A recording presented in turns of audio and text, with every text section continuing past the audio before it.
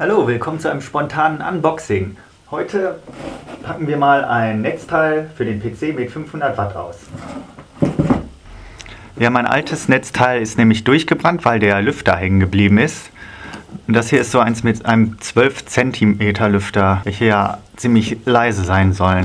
Ich habe so ein Ding zum ersten Mal und jetzt bin ich mal gespannt.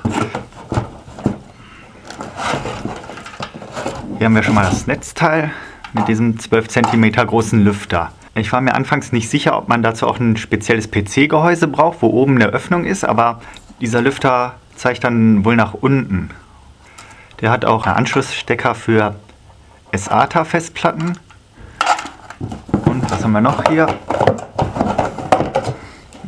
Das Kabel. Und das war's auch schon. Ja, dann bauen wir mal das alte aus und schließen das neue an. Ja, da sieht man das alte Netzteil. Und das baue ich doch gleich mal aus. Das neue Netzteil habe ich jetzt eingebaut. Alle Stecker angeschlossen. Jetzt hier noch den Hauptschalter ein und jetzt bin ich mal gespannt, ob es anspringt. Ja. Der PC bootet.